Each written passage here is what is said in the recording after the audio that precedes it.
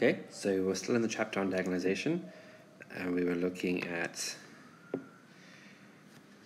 uh, inner products, norms, and orthogonality was the particular thing we were looking at, orthogonality. Okay, so we looked at what it means for vectors to be orthogonal.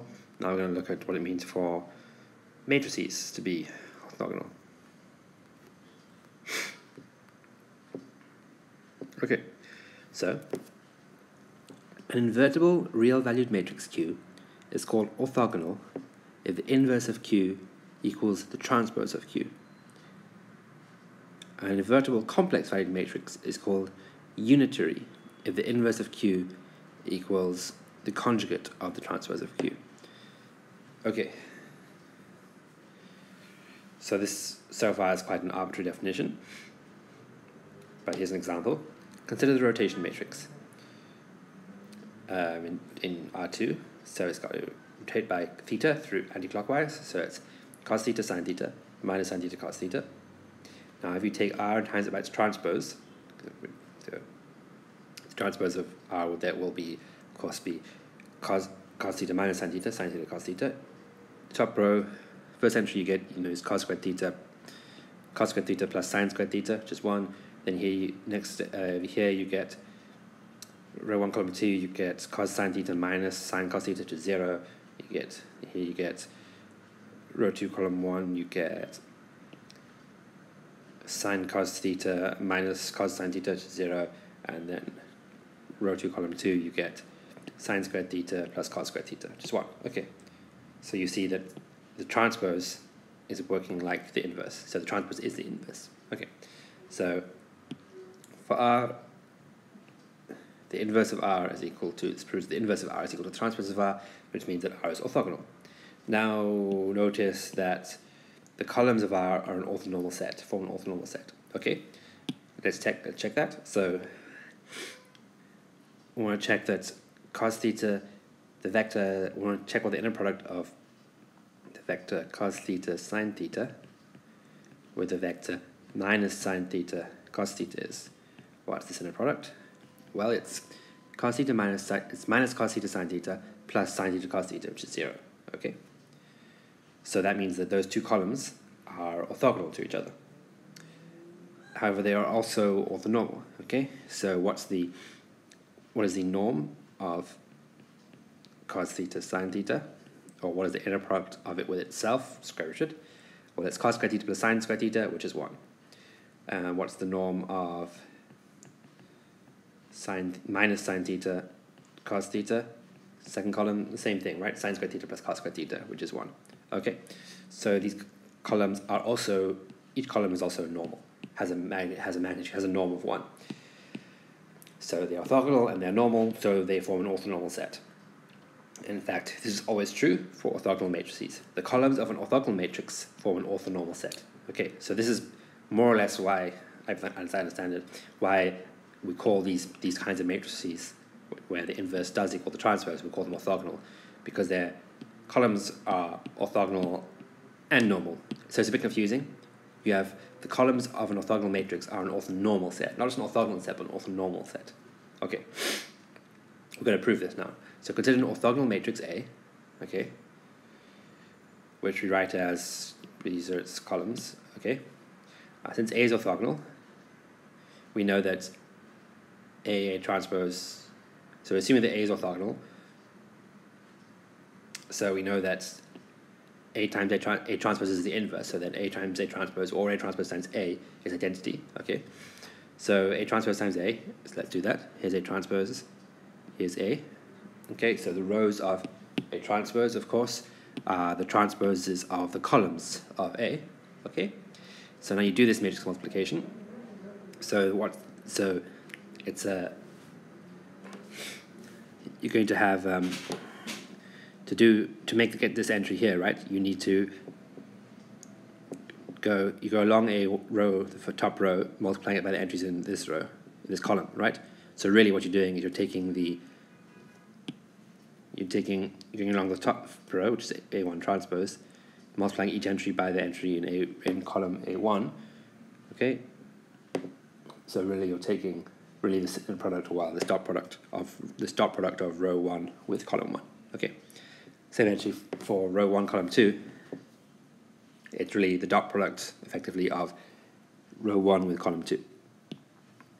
Uh, in general, that's the same for ijth entry is going to be like this, right? So you get this whole matrix. But we've said that these columns, well, so we've said that A is an orthogonal matrix, so that means that this A transpose times A must be must be identity. Okay, so we're saying that this matrix here is identity. Okay, so that means that all these diagonal entries are ones. Okay, in other words, A1 transpose A1 is 1, same for A2 transpose A2. Okay, so in other words, the inner product of every vector with itself is 1. Okay, and off the diagonal, you have the inner product of the vectors with the other vectors, right? Like a to n with 2 or a1 with n, and so on. And those must, those must all be 0 because it's an identity matrix. So we have the off-diagonal elements being 0, so every pair of vectors is orthogonal. So this set is, this set of vectors is orthonormal. Okay? Um, this is the case for, so this is the, this is about, all about real matrices, right? Okay? But there was this also this thing about complex value matrix called unitary of Q inverse equals Q transpose. So of course, that's because when you're taking, when you're considering complex value matrix, now the inner product, you want it, so we're saying that, suppose we have A is unitary, right? That means that A inverse equals the, the conjugate of the transpose.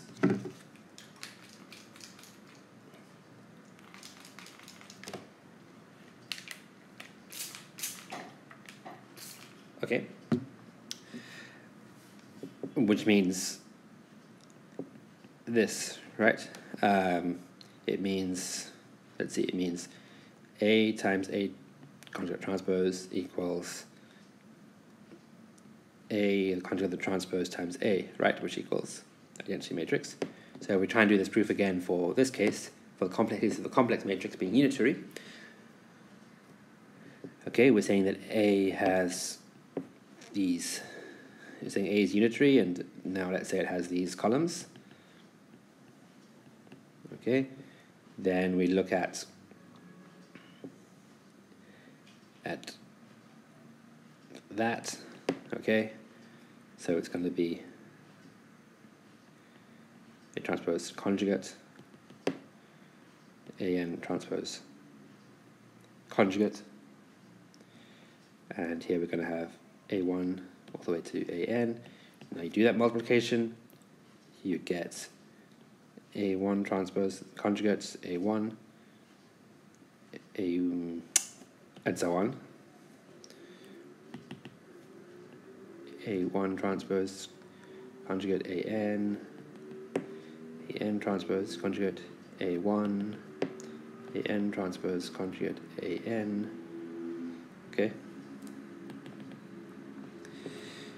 Now, since this is the identity matrix, because we said that the matrix A is unitary, we know that we need AI transpose AI, the diagonal entries must be 1, right? Okay, but I could conjugate the whole thing, so that means that conjugate of the whole thing was that, but the conjugate of 1 is just 1, and the conjugate of that first thing is, well, the conjugate of conjugate is the thing, and here we conjugate that. Okay, but that's just the inner product of a of the complex vectors, complex vector AI with itself, right? So we're saying the inner product of a vector with itself is 1. So that means that the vectors are all normal. And then if you do a similar thing for AI transpose AJ, okay, equals must equal 0 because this matrix because this matrix is the identity matrix. Conjugate everything but conjugate of 0 is just 0 and here you get AI transpose AJ sorry we have that we have that sorry. So you get this and that's just inner product of AI with AJ. So the inner product of the thing with, a, of each vector with another vector is zero. So that shows that the columns are ortho or are orthogonal. So we've proved that the columns of an orthogonal matrix form an orthonormal set. So an orthogonal matrix is a real matrix which satisfies a real matrix, which where the inverse is the transpose, and we've also proved that the columns of a unitary matrix form an orthonormal set. A unitary matrix is a complex matrix where the inverse equals the conjugate of the transpose. Of course, orthogonal really is a particularization of unitary, because a real valued matrix that is orthogonal is, is unitary, because when then the conjugate of real stuff is just, conjugate of a real matrix is just the same as the matrix, right? Because real numbers take the same when you take the conjugate. Okay. I think that's, yeah, that's enough for now. Carry on the next video. Okay.